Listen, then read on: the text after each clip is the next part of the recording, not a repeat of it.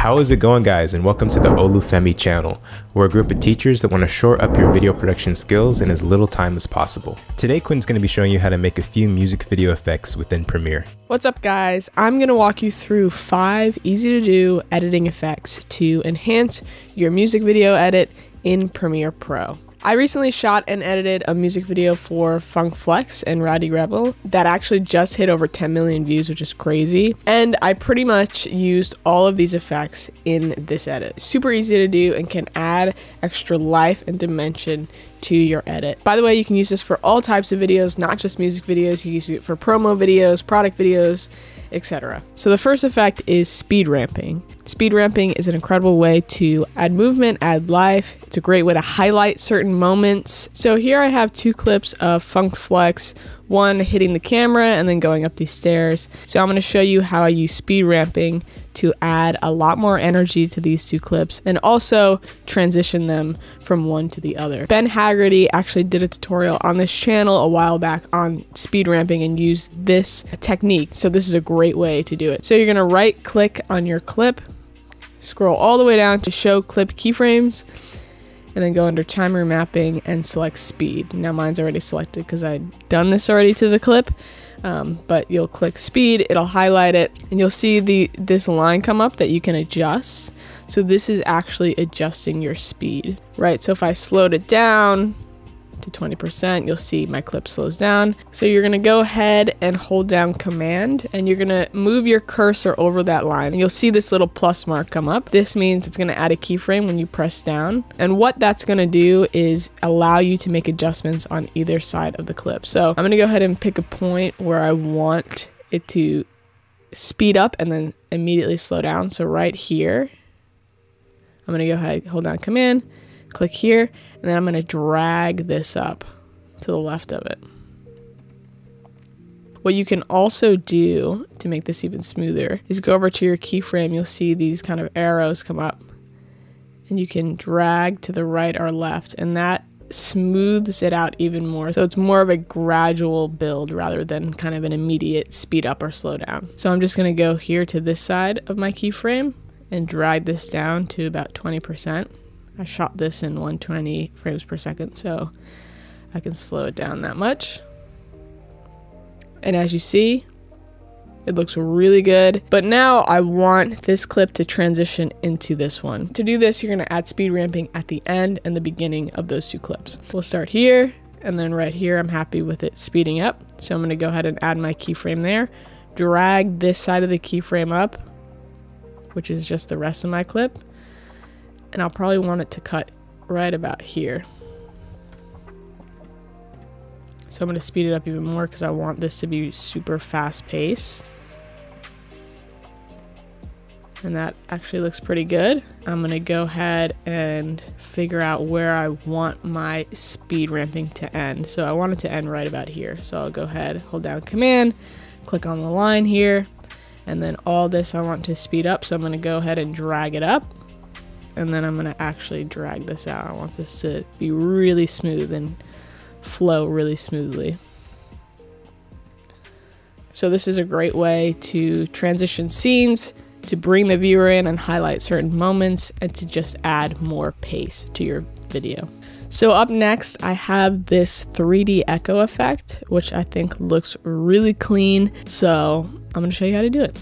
All right, so here's my uh, clip that I'm gonna use. First thing I'll do is cut it. I want this effect to kind of pop out. So I'm gonna make a cut and you'll see why in a second. Probably about halfway through. So now I'm gonna duplicate these two clips on the layer above. To do that, I'm gonna highlight both, hold down Option, which I believe is Alt on a PC, drag these two clips up, which makes a duplicate on the layer above. And then on these top layer clips, I'm going to select them, go into my effect controls, bring the opacity down to about 50. And then I'm going to go into my scale under motion and scale it up just a little bit. And then I'm going to go over to my second clip here and do the same thing. Except I'm going to bring it out even more. So you'll see, which is why I made that cut, so that it kind of pops out a little bit more. And you can do this sort of cut and movement on, on a beat or on a drop. And then we want to add that sort of 3D color that you saw earlier. So I'm going to highlight both of these clips, do the same thing and duplicate them by holding down option and dragging it to the track above. Then you'll go ahead and select one of your clips and change your opacity mode to color. So once you do that, you're gonna go into your effects panel. And if you don't see your effects panel, you'll go into window and you can select effects right here. And you'll go ahead and type in emboss and you'll drag that onto your top clip. And then under your effects controls, you'll be able to kind of manipulate this. So first thing I'll do is drag up my relief, which you'll start to see brings out that red color. And then you can play around with this however you like. You can change the direction of it. Then I'll go over to my second clip, which I want the same look on. Go ahead, change my opacity to color and then I can go ahead and add the emboss effect, but I'm actually just going to copy it from the other clip. So I'm going to highlight it, go over to emboss, click it, Command C to copy, go over to my other clip, click it, go into my effect controls, and Command V to paste. And so then we get this really cool looking effect. Next up we have directional blur. This effect is great if you want to add some movement or basically create a visual version of like a beat and it's super easy to do. So I'm going to show you how to do it. What you're going to want to do is go over to your effects panel and type in directional blur, drag it onto your clip. And then you're going to add keyframes. So I'm going to figure out where I want these moments to hit. So I'll go ahead and skim through it and I think we'll do one as his hands coming down so I'll go ahead and add two keyframes under directional blur for direction and blur length. I'll go forward one frame and then drag out the direction and the blur length till I see fit. Then I'll go ahead maybe two more frames and then bring this back down to zero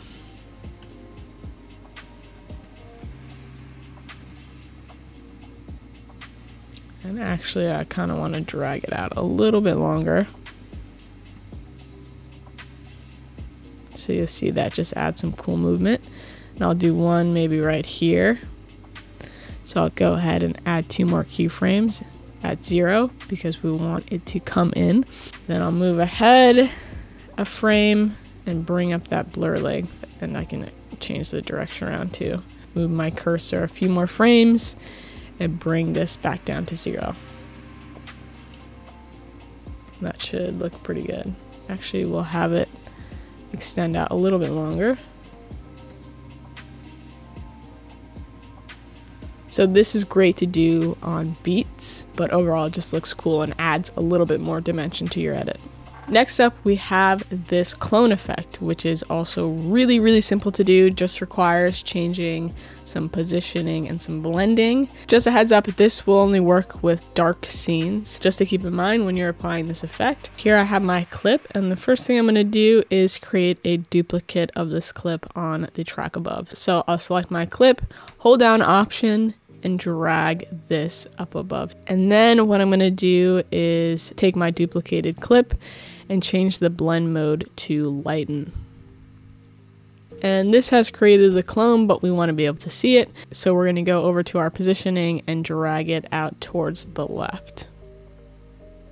And then you'll want to do the same thing with the other side, or depending on how many clones you want to make, totally up to you. Uh, but I'll go ahead and drag and duplicate this clip again and then just move the positioning all the way over to the right. So that's how you get that look. And what you can do is make cuts in certain areas to have these clones pop in and pop out however you see fit, which is also something you can do to the beat. If you want it to blend a little bit better, uh, you'll see kind of you have duplicates up top of kind of the background that maybe you don't want to see as clearly.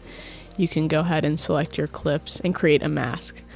So to do this, you'll go under opacity and you can go ahead and select free draw border. So this, I believe, is my right clip. So I'll go ahead and just draw a mask around my clip here. You'll see that you kind of erase all that extra background up top. So yeah, this is a really cool and easy effect that you can throw onto any clip. Also, if you are a creator and you're newly interested in shooting products, we just launched a full product video course where I cover getting clients, shooting, editing, pricing your video. It's a really great way to get a grasp on shooting product content. The link is productvideoschool.com, so feel free to check it out. Up next, we have this time lagging effect, which could be really cool to use on some of your shots. So to achieve this look, you're gonna go over to your effects panel, you're gonna type in echo. This is really simple to do, it's just one effect, which is nice. So once you apply that effect, you'll get this sort of look, which is actually kind of cool if you're going for like a vintagey retro kind of VHS look. So you can leave it like that, or you can go ahead and adjust the effect how you like. So first thing I'm going to do is adjust the echo time, which basically is delaying the clip a little bit to create this kind of echoey time laggy effect. So this is very sensitive. So you'll want to move it just a little bit and you'll see in the preview when it moves forward, or back in the clip a little bit. So I'm going to move it to about 0.067 and you can preview it and you can make it even more laggy. So maybe I'll actually make it a little bit more laggy. So I moved it to about 0.167 and that gives me a little bit more of a, a cooler effect. And you can adjust the number of echoes so you can even make two echoes just adds another layer of delay but I'll just keep it at one. And then you'll see it kind of, since there's multiple layers of the same clip, it's gonna kind of overexpose itself. So we'll wanna crank that down a bit. And to do that, you're gonna go into your starting intensity and just lower it until you see it fits the right exposure. You can also go down to your echo operator and change it to screen, which will make it just blend a little bit better and not look super overexposed. So you'll kind of end up with something like this. And you can do these in little spurts and moments throughout your music video edit. Also, a quick bonus tip if you go and watch the Funk Rowdy video on YouTube, some of these shots have these really cool, bright, starry looking lights. And what I use for that is actually a star filter. So you can put the star filter on your lens. They're cheap, they're inexpensive, and they look really cool when you have a strong, powerful light hitting them. So that's just an in camera tip. If you go out and shoot a music video, you might want to get one of these. And those are my five easy music video effects that you can apply to your edits in Premiere Pro. Let me know what you guys think. If you end up using any of these effects, send them to me, DM them to me. I'd love to check them out. Hopefully, this will level up your edits across all types of videos. Thanks so much for watching. Killed it, Quinn. Shout out to our East Coast, West Coast working setup. You can check out Quinn's personal IG here and her website right here. Thanks so much for watching, guys. And as always, remember to keep it chill.